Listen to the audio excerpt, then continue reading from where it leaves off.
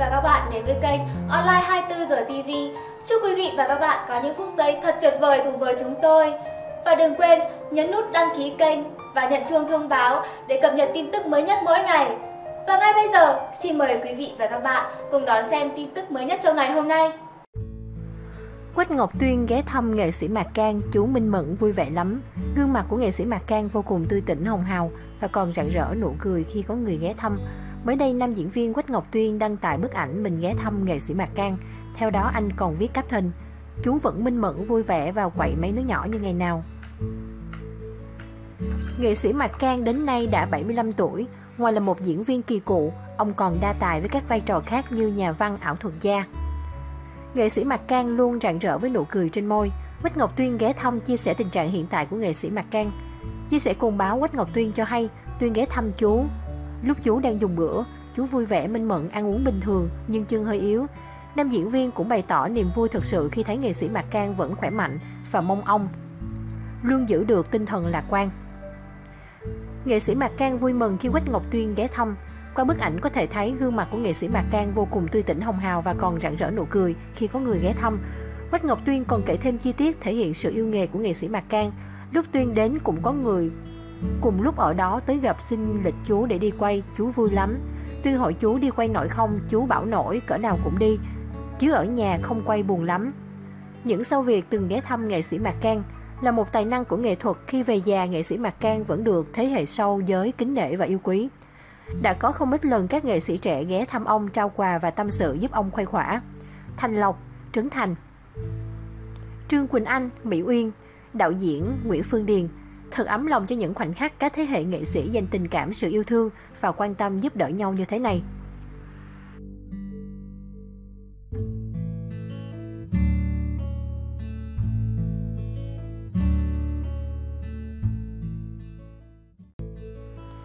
Liên tục bị nhắc nhở thân hình gầy guộc, Ngọc Trinh quay luôn clip giải đáp rõ lý do, hóa ra tất cả là vì bạn trai.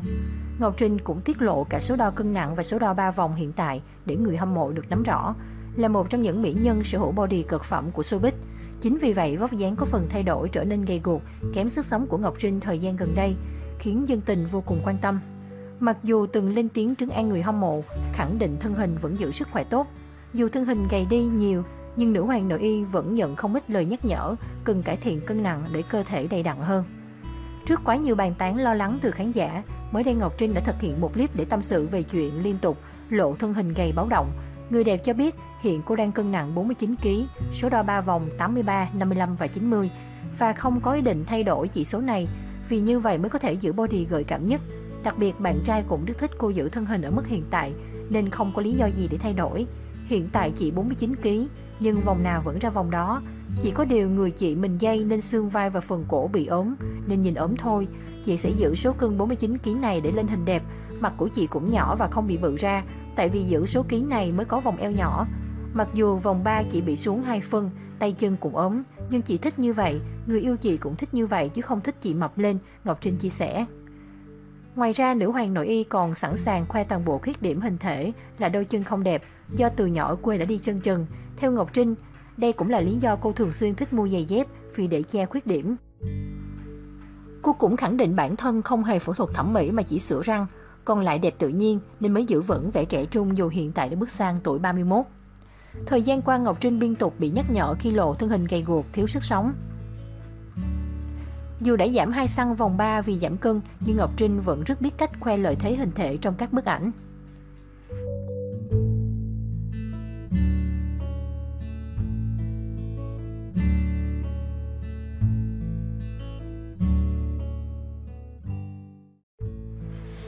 Ảnh chăm con, ốc Thanh Vân bị khán giả nhắc chụp hình La Vi nữa, liền phản ứng ngay. Khoe ảnh chăm con khéo léo, ốc Thanh Vân bị khán giả nhắc chuyện con gái Mai Phương bé La Vi, cô nhanh chóng phản hồi. Là người mẹ ba con, ốc Thanh Vân vô cùng nổi tiếng trong cộng đồng mẹ bỉm sữa. Vừa qua, nữ MC chia sẻ một bài đăng nói về bí quyết giúp các con nhanh chóng tăng trưởng chiều cao và cân nặng, kèm theo hình ảnh con trai ca cao lớn nhanh như thổi, đến mức không còn phù hợp với biệt danh ông lùng. Ốc Thanh Vân hạnh phúc bên con trai ca cao, những hình ảnh vui vẻ của mẹ con ốc Thanh Vân nhận được sự tương tác lớn từ người hâm mộ. Với 7.000 lượt like và nhiều bình luận chỉ sau 10 giờ đăng tải, Tuy nhiên với tư cách là bạn thân của cố diễn viên Mai Phương, Ốc Thanh Vân không tránh khỏi những câu hỏi tế nhị liên quan đến bé La Vi thời gian qua. Khán giả nhắc Ốc Thanh Vân chụp hình bé La Vi nữa. Cụ thể một tài khoản mạng khi thấy những hình ảnh trên đã để lại bình luận Cô ốc chụp hình với bé La Vi nữa đi à Trước thắc mắc có phần tế nhị ốc Thanh Vân nhanh chóng thả ai khinh Hai chú gấu dễ thương để hưởng ứng lời nhắc nhở là người chị thân thiết và kỳ cựng Mai Phương, hơn ai hết Ốc Thanh Vân là người hiểu rõ nhất những câu chuyện đang diễn ra. Khi thông tin hậu trường liên quan đến bà ngoại của bé gây xôn xao, Ốc Thanh Vân là người lên tiếng trấn an dân mạng và khẳng định sẽ luôn bên cạnh lo cho La Vi bằng tất cả sức mình. Cô cũng là người đứng ra quản lý số tiền quyên góp của mọi người dành cho La Vi và trao lại khi bé đủ 18 tuổi. Kể từ khi Mai Phương qua đời, Ốc Thanh Vân không thể ngừng nhớ đến người bạn thân và nỗi đau tinh thần luôn còn đó. Dẫu vậy cô lại không dám nhắc nhiều về diễn viên quá cố vì luôn muốn để cô ra đi thanh thản, không còn vướng bận. Bên cạnh đó cô cũng không muốn khán giả hiểu nhầm dị nghị. Cô chia sẻ với khán giả, giờ nhớ Mai Phương thì xem hình clip cũ không dám úp, nhớ không dám nói nhớ, thương không dám nói thương. La Vi cũng thế không dám nhắc nhiều trên Facebook, từ lúc nào mà cảm xúc của mình bị kiểm soát và xuyên tạc, đầu em à. Hiện tại bé La Vi đang ở cùng hai bảo mẫu và sắp về nhà ông bà nội. Cũng có thể vì vậy sau khi Mai Phương qua đời, Ốc Thanh Vân chưa có dịp hội ngộ và chụp hình La Vi. Tuy vậy, MC 8X vẫn luôn quan tâm và theo dõi con gái người bạn thân quá cố thông qua nhiều bài đăng trên mạng xã hội.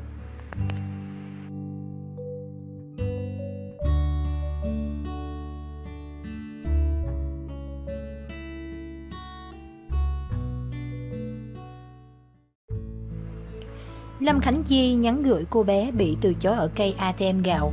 Em là người thuộc cộng đồng LGBT, liên hệ với chị để nhận bao nhiêu gạo cũng được. Rất nhiều nghệ sĩ Việt lên tiếng bức xúc khi biết câu chuyện cô bé bị từ chối nhận gạo ở cây ATM gạo chỉ vì vẻ ngoài của em không nghèo. Lâm Khánh Chi đặc biệt lên tiếng bên vực vì cô bé thuộc cộng đồng LGBT. Mới đây thôi, clip ghi lại câu chuyện cô bé đến nhận gạo ở cây ATM gạo bị giám sát viên từ chối yêu cầu bước ra khỏi hàng khiến cộng đồng mạng xôn xao. Theo đó, nhiều người lên án hành động phân biệt giàu nghèo trong mặt mà bắt hình dong của người giám sát và cả việc quay phim bình phẩm cô bé của người tung clip này lên mạng. Chỉ vì cô bé ăn mặc tươm tất, gương mặt sáng láng và không có phong thái của người nghèo nên mới bị từ chối nhận gạo. Đoạn clip cô bé bị từ chối nhận gạo miễn phí ở cây ATM gạo gây bão trên mạng xã hội vừa qua sau gần một ngày lan truyền trên mạng xã hội, cuối cùng thân nhân thật sự của cô bé cũng được tiết lộ. Em tên Hà, gia đình có 4 chị em gái. Em phải đi làm dù chưa đủ tuổi lao động. Thời gian nghỉ dịch không có tiền chi tiêu hết gạo ăn. Nên em được người quen chở đi nhận gạo miễn phí ở cây ATM gạo. Không ngờ đến nơi thì bị người ta rao trên loa yêu cầu bước ra khỏi hàng vì không đủ điều kiện nhận gạo. Một số mạnh thường quân đã tìm đến nơi em Hà sinh sống để tặng nhu yếu phẩm, cũng như động viên em vượt qua khó khăn. Em cũng bày tỏ lo lắng vì sợ clip xin gạo ảnh hưởng đến công việc sau này. Mẹ em đã gọi điện la rầy em nhiều vì sự nổi tiếng không mong muốn này. Trước câu chuyện nhận 2 kg gạo và nhiều vấn đề đáng suy ngẫm phía sau, không chỉ cư dân mạng mà ngay cả nghệ sĩ Việt cũng lên tiếng nêu quan điểm. Trong đó Lâm Khánh Chi đặc biệt thể hiện nỗi bức xúc tột độ. Các bạn hãy bỏ ngay suy nghĩ thiển cận rằng người giàu thì phải lộng lẫy, còn người nghèo thì phải rách rưới bẩn thỉu, Lâm Khánh Chi viết. Công chúa chia sẻ đã đọc câu chuyện của bé Hà và biết em đang rất tự trọng, chỉ nhận đủ tiền ăn, tiền đóng nhà trọ để vượt qua mùa dịch. Nữ ca sĩ nhận thấy Hà là tomboy, thuộc cộng đồng LGBT nên cô buộc phải lên tiếng bên vực. Các bạn trong cộng đồng LGBT có thể liên lạc với em ấy giùm chị. Nếu em cần, chị sẵn sàng giúp em lúc nào khó khăn, bao nhiêu gạo cũng được. Tiền đồ ăn hay xuất hiện trong chương trình come out của chị nếu em muốn. Lâm Khánh Chi chia sẻ bức xúc về câu chuyện cô bé thuộc cộng đồng LGBT bị từ chối nhận gạo. Lâm Khánh Chi bày tỏ rất thương và cảm phục với hoàn cảnh cũng như lòng tự trọng của em Hà. Hơn thế nữa vì Hà cũng thuộc cộng đồng LGBT nên công chúa càng có thêm thiện cảm. Hiện tại em Hà đã nhận được rất nhiều sự giúp đỡ từ cộng đồng mạng. Sau này nếu không thể trang trải cuộc sống, em vẫn có thể liên hệ và nhận sự giúp đỡ từ Lâm Khánh Chi. Câu chuyện tưởng như ê chề xấu hổ của Hà khi phải lặng lẽ bước ra khỏi hàng vì bị từ chối nhận gạo. Bây giờ cô bé đã nhận được muôn vàng tình cảm san sẻ, cảm thông từ cộng đồng. Suy cho cùng mọi vấn đề đều có nhiều mặt, Đôi khi con người chỉ cần nhìn vào mặt tích cực để tiếp thêm động lực, niềm tin cho chính mình mà thôi. Em Hà đã nhận được nhiều sự giúp đỡ của cư dân mạng sau clip gây xôn xao.